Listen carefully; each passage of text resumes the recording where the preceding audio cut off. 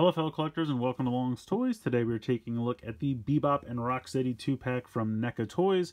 Uh, these are done in the animation style and these 2-packs are exclusive to Target. Um, hopefully everyone who wants one of these has been able to find one. They were very sought after.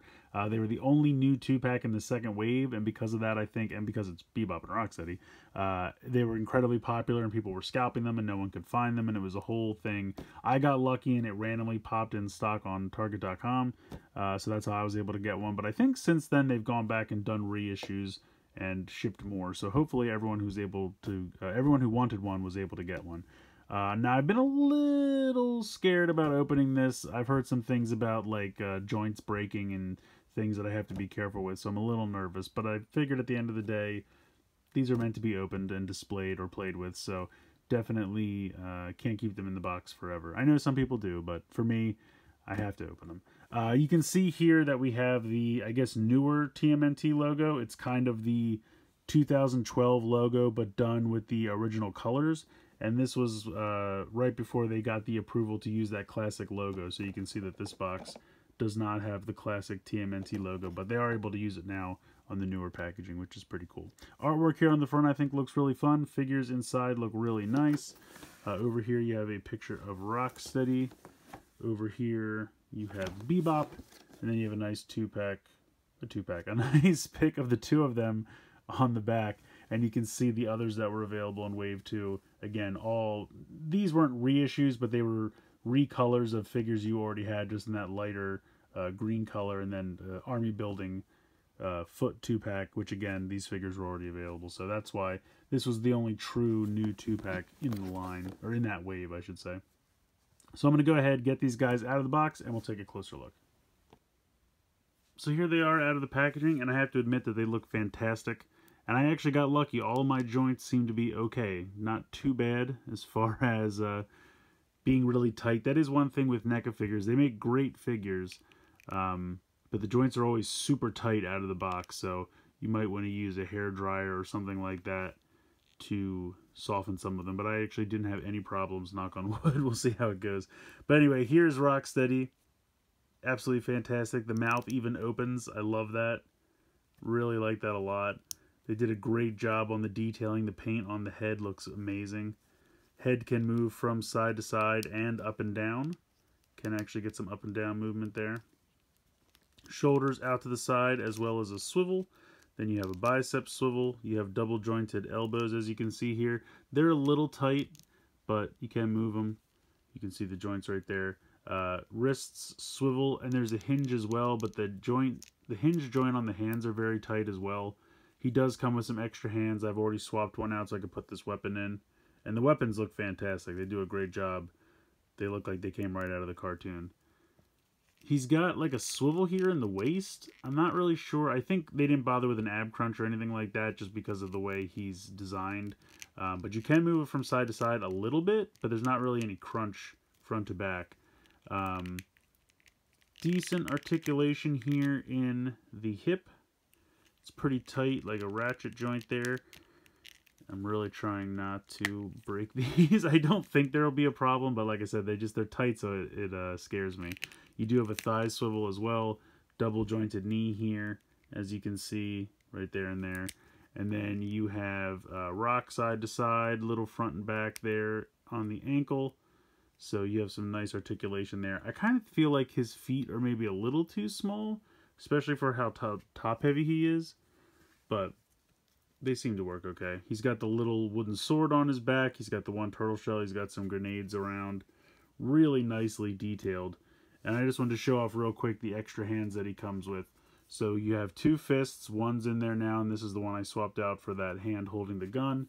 And then you have this set of really open hands. I'm assuming like if he's trying to grab the turtles, or maybe you might even be able to have him like trying to strangle a turtle or hold the turtle in this hand. So he's got a set of those hands. And then he's got another like gun holding hand as you can see here. These are so tight though. And I feel like NECA has already gotten better about this um, with their newer releases. But I wish these weren't so like tight. I wish the hands were just a little bit more malleable to get weapons in and out because they're so tight that you try to like pry them apart to fit something inside and then it ends up rubbing paint off the hand itself or paint off the weapon, which is a bummer. But like I said, I feel like they've already gotten a little better about that because we've definitely seen like four or five releases since these two guys came out. So uh, they have gotten a little better about that. But you can see here the hinge in the wrist and it's like already this is really tight and I'm having trouble getting this to move and I'm really just not about to break this off but you can see it move a little bit but there is a hinge there they're just very very very tight but let's put that off to the side. Um, and I should point out that each one of these guys comes with one of these guns and one of these guns. So I have Bebop holding one Rocksteady holding the other. But they look great. Again looks like they leapt right off the cartoon. Beautifully designed. Beautifully painted.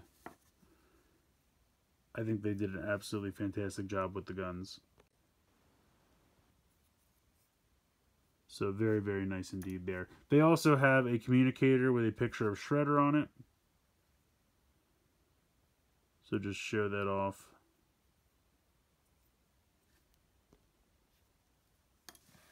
All right, we'll move Rocksteady back a bit. Uh, I think Bebop looks even better than Rocksteady, if that's possible. And I kind of thought, and maybe I'm thinking of the original toy, but I thought the Mohawk color went all the way down into like the, this is supposed to simulate the Warthog's tail, but it's his hair. But I thought the purple went all the way down. Maybe I'm wrong. But the glasses are fantastic. Again, the mouth does open. So we can push that down, and that looks amazing. Really, really nicely done there. And the inside, you can see the tongue's all painted. And I love the tusks on both sides. Really, really nice. The turtle shell shoulder pads look fantastic. He's got the necklaces and the bandolier and the little grenades and everything. This is the only thing. This chain that's his belt, it kind of slides down from time to time. It's only really affixed in the front. That's like my only complaint about his accessories. It's not a big a deal because when you're posing it like from the front, you don't really notice it, but and maybe it was affixed and I, I knocked it off while I was getting it out of the packaging. That's possible. But you could always just do like maybe just a little dollop of super glue right there just to keep that in place. I might do something like that. I haven't decided. But he's also got head from side to side and a little bit of front and back, but not as much. Uh, nice shoulder joints. And then he has a rotation, but because of the uh, shoulder pads, it's a little hindered, but you can still get it to move around. Then you have the bicep swivel, double jointed elbows. These are really tight. Uh, again, he's got he's got the chain bracelet over here, which again I feel like it's not really affixed. And I appreciate what they're going for. They wanted the realistic chain, but I would have been maybe okay with them just kind of gluing it on there somehow or something like that. But you can move the wrist, and of course he has interchangeable fists. Um, this is the best hand to hold this gun, but it doesn't even make sense because the trigger finger is like up in the air. But they don't really, none of the fists are really fantastic for this gun. I love the look of this gun, but none of the fists are really made to hold it, unfortunately. Uh, he's got kind of an abdomen thing going on here, as you can see. Uh, not really much in the front to back, but side to side a little bit. He's got similar uh, knee joints. Knee joints? These are the hip joints. So he's got out to the side, a little bit of front and back there, as you can see. Does have a thigh swivel. Then he's got the double jointed knees, as you can see. And then he's got the similar ankle where you can do a swivel and a little bit of front to back. So again, I think they both look fantastic. They really did a nice job with these. It's just a question of making sure I can get them to stand. BA should be good. And then just real quick, uh, Bebop's extra set of hands again, just like Rocksteady, he has the kind of grabbing hand set.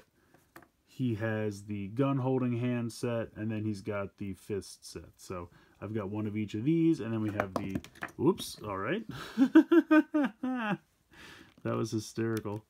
He just did a flip. That was pretty impressive. So yeah, that's what I'm saying. I feel like they're very top heavy, and I'm worried that their feet will be able to hold them. I think ultimately they'll be okay. Um, just have to really find a solid pose and maybe lean them back a little bit. Something like that, maybe. That might work out a little better. I'll have to play with it. But they're definitely good-looking figures. Really, really happy with them, and I'm really happy mine don't seem to have any joint problems, knock on wood. Uh, a lot of alternate hands. They each come with uh, one of each of the blasters, which I think both look good. You have the communicator, so all in all, I'm pretty happy with this set. I think they did a really nice job with the detailing. All the articulation's good. Uh, like I said, just with NECA joints, I feel like sometimes they're a little too tight, and that worries me. But once you kind of work them a little bit, they're not a problem, and then you can get some really nice poses out of these guys. So if you can find a set of these for a reasonable price, I definitely recommend picking them up. Uh, but hopefully don't have to pay scalper prices. I believe NECA is trying to get these out there. They know the demand was high, so they're definitely trying to get them out there for everybody. But yeah, really great set. Really love them. Let me know what you guys think in the comments below. Please like, share, and subscribe. Hope you guys enjoyed the video. And as always, thanks so much for watching.